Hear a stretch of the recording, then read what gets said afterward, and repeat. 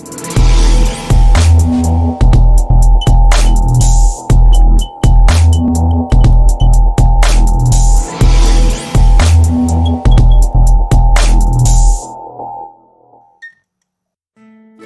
in this video we will learn about how can I enable SSL from my cPanel using premium Let's Encrypt plugin.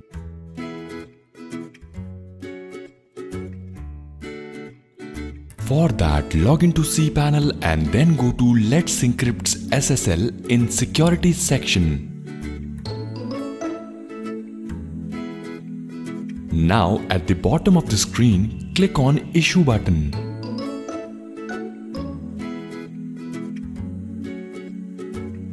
Make sure you select all the options and deselect if any of the option is creating an error.